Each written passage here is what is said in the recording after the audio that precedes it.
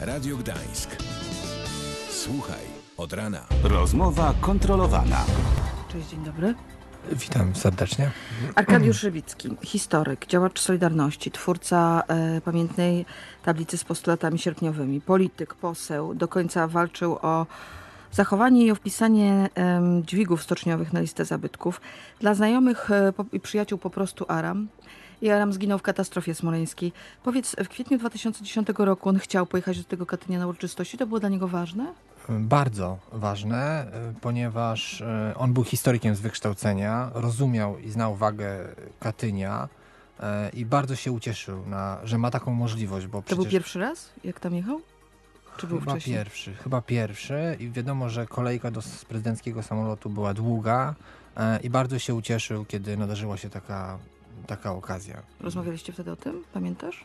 Y, Ja nie, ale dotarła do mnie taka informacja, że, że bardzo się cieszył. Ja w tym czasie, e, kiedy, kiedy samolot lądował tak, a nie inaczej w Smoleńsku, ja jechałem go reprezentować na kongres obywatelski tu w Gdańsku, więc to był szok dla wszystkim. No właśnie, jak się wydarzyło. dowiedziałeś o tym, że doszło do tej katastrofy?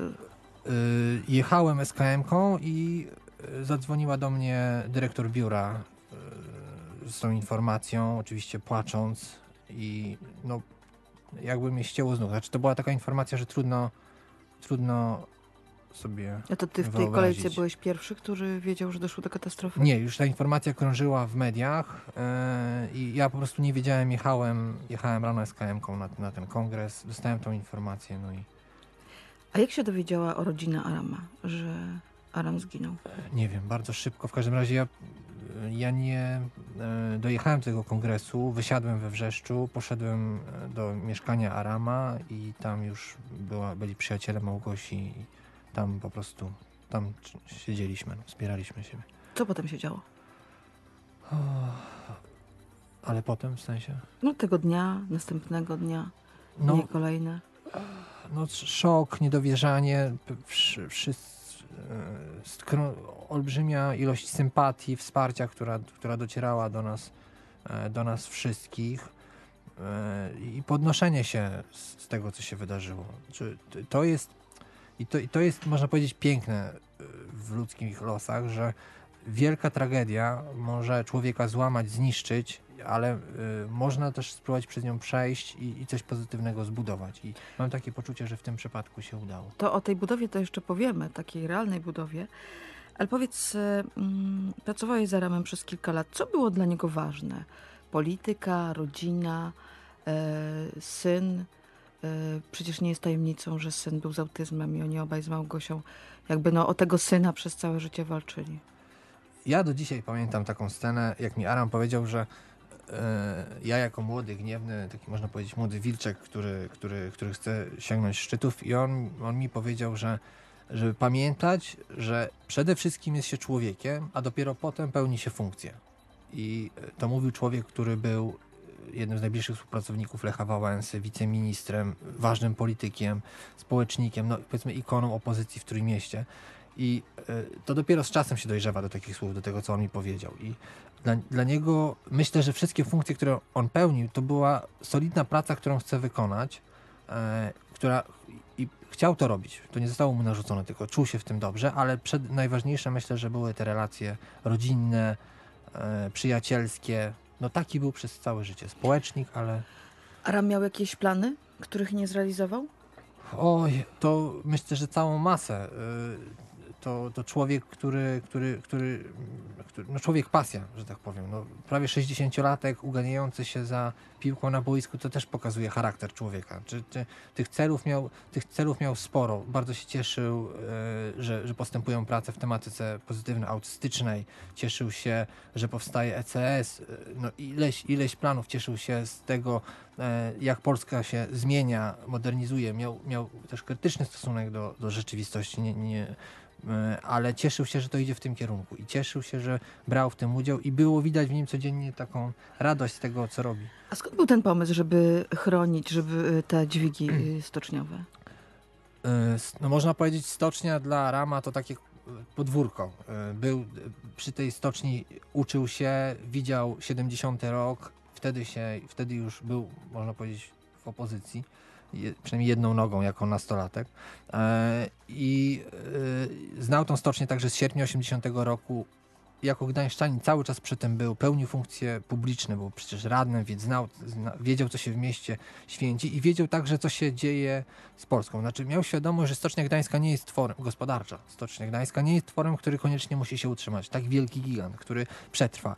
I widząc te ruchy, które się ekonomiczne wykonywały, dzielenie się na spółki, e, wahnięcia samej stoczni, e, wiedział, że, że, że, że że ważne jest to dziedzictwo, które, które tam było. I, I zdawał sobie sprawę, jak wielką wagę mają te, te, te, te, te właśnie historyczne hale, ten cały sprzęt, dźwigi, z których teraz chyba jest najbardziej znany, jeśli chodzi o, o teren stoczni. I wiedział, że trzeba zacząć to chronić e, już kompleksowo. Wiedział, że, że gospodarz może się zmienić, e, może się zmniejszać, przeistaczać i że trzeba coś z tym zrobić, że to jest nasze wspólne narodowe dziedzictwo i podjął ten trudny, e, trudny temat, ale dzisiaj wiemy, że miał rację po tych, po tych latach. Tak myślą gdańszczanie, że to jest ważny teren.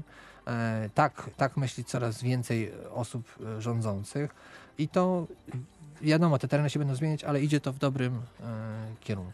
Powiedz mi, co myślisz o śledztwie smoleńskim? Co myślisz o tym, co się wokół tego dzieje od czterech lat? Hmm. To jest trudne pytanie.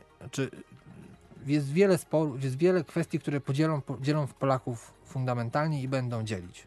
Kwestia, nie wiem, na przykład tego, czy Polska y, sprzedała się w 1989 roku, czy, czy, to, czy źle, że, że były to powolne przemiany, czy powinna być rewolucja, czy rozliczyć komunistów, czy nie i tak dalej.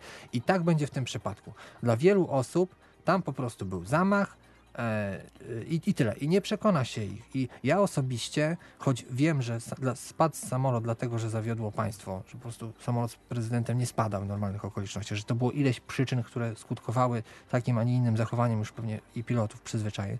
I, ale mam też zaufanie do tego państwa, więc jeżeli po iluś śledztwach prokuratorzy po, po iluś badaniach potwierdzają, nie było zamachu, to ja to przyjmuję jako, jako informację sprawdzoną, pewną i tyle. I, i, I będą ludzie, którzy będą w to wierzyć, i będą politycy w związku z tym, którzy będą o tym mówić, i środowiska, które to wspierać. Więc to jest tąpnięcie, które jest, no, no trudno, no, tr trzeba z tym funkcjonować. Po e, Arkadiuszu Rybickim e, została fundacja jego imienia, ale także e, salony, które organizujecie. E, po Arkadiuszu Rybickim, pani redaktor, została cała masa pozytywnych inicjatyw i to różne osoby to trzymają. Przykład tych e, dziedzictwa stoczni, które, którymi zainteresowały się inne podmioty, łącznie z Europejskim Centrum Solidarności, z ministerstwem, z panem prezydentem i innymi podmiotami. Jest cała, jest, jest pula autyzmu i tutaj chwała e, żonie Arkadiusza Rybickiego, która, która trzyma.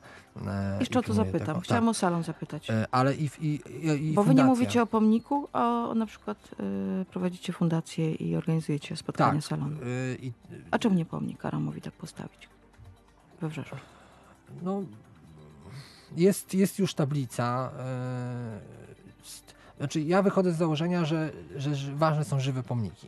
Żywym pomnikiem jest właśnie to, co robi pani Małgosia, czy to, co się dzieje w stoczni. Żywym pomnikiem jest fundacja i, i te debaty, które, które Aram zaplanował. Zresztą pierwsza debata Salonu Młodopolskiego miała odbyć się na koniec kwietnia 2010 roku. Już było prawie wszystko dopięte, 10 kwietnia to przerwał, więc było naturalne, że od tego zaczynamy. I fundacja zbudowała taki pomnik, jak w cudzysłowie pomnik, jak te, jak te debaty właśnie. I im więcej będzie takich takich inicjatyw, tym bardziej, się, tym bardziej będę radosny z tego powodu. I takie pomniki chciałbym budować, ale e, nie wyklucza, no ciężko wykluczyć, czy, czy, czy, czy powstanie pomnik, czy nie powstanie. Ja bym nie budował. E, drugim takim żywym pomnikiem, o czym była już tu mowa, to ma być ten dom, całodobowy dom pomocy dla dorosłych osób z autyzmem. Jak już mówiłem, nie jest tajemnicą, że Aram E, ma dorosłego już syna tak, z autyzmem i, i, stąd jakby to działanie całej rodziny i to rozwój. Wiem, że dzisiaj nawet premier będzie tak na tym kamieniu węgielnym, na tej uroczystości. Być może. Być może. Tak, to jest silna noga. E, ten, to też też, o właśnie, ten przykład autyzmu pokazuje właśnie Arama, e, który, który, który przytrafiło mu się w życiu autystyczne dziecko w czasach, kiedy o autyzmie niewiele się wiedziało i po prostu wziął, e, wziął się do roboty z Małgosią, e, zaczął się tym interesować, nie wyjechał, zbudowali podmiot, który uczył o autyzmie, propagował informacje o nim, zb- zbudował bardzo silny ośrodek, jeden z najlepszych e, w kraju e, i to dalej się toczy. I, e, i, to, jest, I to jest właśnie piękne, że można po, po wielkiej tragedii budować e, coś, coś, coś wielkiego, coś ważnego. I ten dom jest kolejnym etapem rozwoju tego projektu i tak będzie pewnie, oby tak trwał dalej, bo autyzm zaczyna być istotnym społecznym problemem, coraz więcej osób się takich rodzi i świetnie, że są tacy fajterzy. Dziękuję bardzo za rozmowę. Dzięki. Radio Gdańsk. Słuchaj od rana.